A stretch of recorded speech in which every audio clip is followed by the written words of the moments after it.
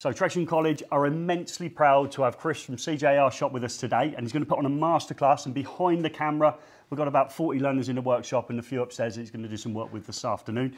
You've bought a piece of steel wire armouring considerably bigger than the stuff that we use Chris Yep. and you're going to show us how to do what? Put a gland on it. Put a gland on. It. So I've got my junior hacksaw so Yeah. if you want to use that uh, You can hack that. away. No, you can keep that Why is that? because we're going to use the new pipe slice. No, no, no, no, no, no, no, no. That's that's for these babies, isn't it? Yeah, It is, okay. yeah, that's it. Look, It's a plumbing kit. that's it. Yeah, Yeah, okay. Does it work really well on the, the copper pipe? No. Is it designed to work on copper pipe? No. Is it a joke for those people It in is. YouTube? It Are is. One or two people not quite getting it. No, it. they're not. No. So, so just to clarify, you know that's for steel or armoured, yes? Armourslice. Look, yeah, oh, wow, it's, it's written on the side. Okay, so you're going to show us how to, to, to penetrate through the armouring, but not too deep that we cause Yep. it to impact the conductors. That's right, And yep. you believe it's considerably easier than what Gaz makes them do. quicker as well. I think. Okay. Yeah. So, so just, just for the record, my learners will be using a junior hacksaw. that's fine. Yeah. unless a manufacturer sends us 25 of those and then Yep. we can rock on with it. Okay. Don't want to leave you to get on with it. I'll keep popping Yep. in and out. Audience, here we go. We're gonna Yep. have the- Perfect. So, have anyone ever used one of these? No. Yeah, you have. Yeah. Was it, was it good? So, was it? So yeah. So you get um, you do get the blade you can change on here. Slide it on basically, and you can feel it biting down, and then start to ring it round.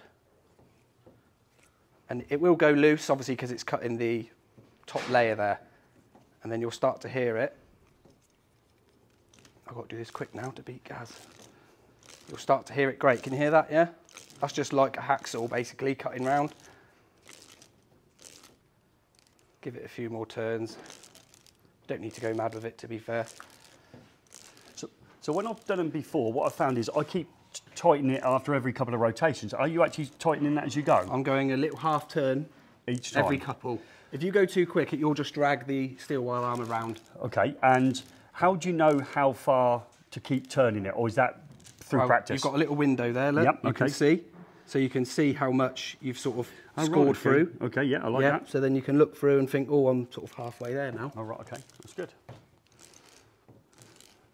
So then, yeah, I'm, I'm happy with that. So take the tool off.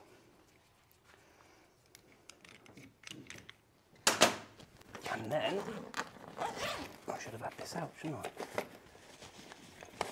Get your knife. You're obviously not allowed to use these. No, we're not. Away from your thumb towards your chum, yeah? I love that quote. I was going to try and get that one in myself today. There you go. And then you can see the armoured will just sort of uncoil itself. If you've got a longer length, I advise you to unwind it and cut, 'em- cut it halfway. Okay, don't try wrestling with a big piece like this because you just won't do it, yeah? And so what we, so now what we should find, and I say to my learners when we've hacksawed through, it, they go to what they do is the top bit brilliantly, and Yeah, then just rub, it right, round at the back. that's right. And what ends up happening, folks, is you get a hook. So I'll say to you, make sure you don't get that hooking effect. Well, if we've rotated this round two complete cycles, half of a turn, quarter of a turn, again and again, you should find the blade has got exactly the same amount of pressure as go you shouldn't get that hooking. right. Yeah. Let's see if you can get it. So you've got a nice equal cut and you can you can do them individually, but you'll be there all day. So um, you can, Yeah. you can Three or four at a time, yeah. Three or four at a time. Um, and go in order. Don't sort of grab two round one side and two round the other because you just end up getting the hook effect. Joe's already had a go with one of these, and I must admit, you're making him look like an amateur hour. Okay, so yeah, he, he, he Yeah. got a few hooking bits, he didn't get it as well as you. And somebody messaged him and said, once you've done it three or four times, you'll get the, That's the right. Yeah, gist of no, it. yeah. that's that's right. Yeah, because I just used to use a hacksaw. You know, that's how I was trained to do it. Um, but now I just this is what I'll jump onto now. It's great. There we go. Look. Brilliant. And I can vouch that none of them have got, and if I exaggerate it, I'm sure they won't be able to see it. So that sort right, of hooking motion on the end, that's a really big exaggeration what it would look like. But that's where you've worked hard on it. You haven't sawn in enough with your hacksaw, Yeah. and then you work, work, work, and eventually it will give up, but it will hook itself over, which makes the next part of the process more difficult. It does. Okay. So next you want to grab your shroud, whatever sock, whatever people call these.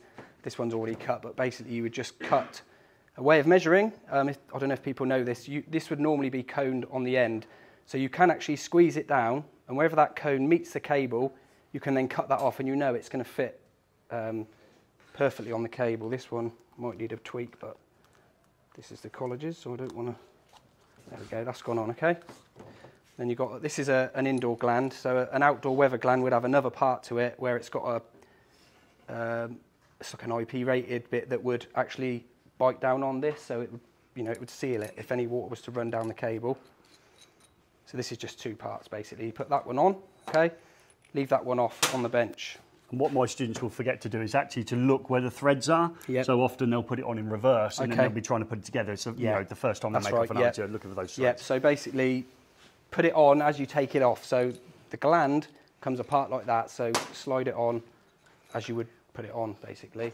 So then once you've got the shroud, because this end might be terminated, this might go 100 metres under the ground, so you need to get this on before you make this off. So then basically ring your knife, or if you've got an electrician's knife, that's probably what you'll be using. But we use Stanley blades.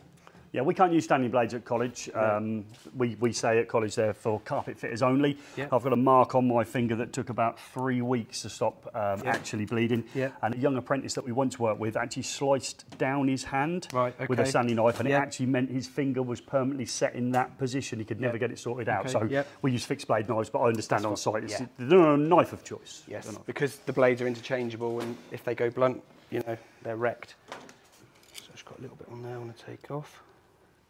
So this next bit, folks, this next bit where uh, Chris is going to spray open the steel wire armoured for a little bit of learning. It's galvanised to prevent it from corroding. That's a question that will come up on our exams. He'll make it look incredibly easy when he does that wind and drops it in. Again, when you go and do your first armouring cable, that's the bit that you never do firm enough. It's the, sort of, the more you do Yeah. it, the easier. it is. You just drop them together in a Yeah. way, and they, um, Yeah. we have some issues with that. So let's be careful to watch this bit. You might find on this size armoured, it's not as easy to do because it's 16 mil. Um, if it was up to a 2.5, you know, you, it's, it's so easy to ring round, but you just ring that round, like so, and it will just spray out the armoured like that, and then you can get your gland. You, you can take the lock nut off, to be fair. And then you might find you haven't done it enough, but in my case, I probably have. A little bit more, see? And anything bigger than this, you, you're going to want to just um, manually push the, the cores out, which I'm going to have to do there, okay? So you can see there, you just gently bend them out. Keeping them uniform, don't get them overlapped because you'll never get the gland on there. Okay, that will sit on there now, yeah? So then get your armed gland. Hopefully this is the right size.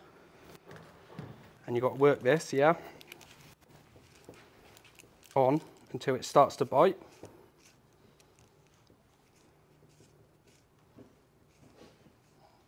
Okay, a little tip, this is not something that you'll be shown and you might not be allowed to do it, but this is what I do. So put your lock nut on so you're not going to wreck the threads.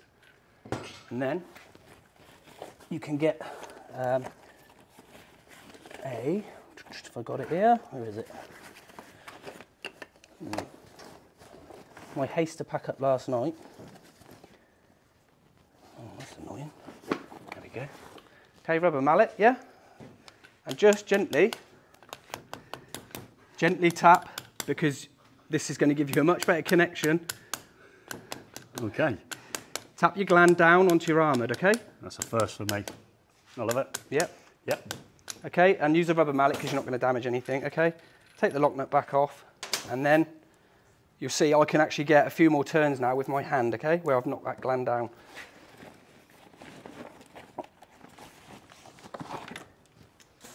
Okay, one and two.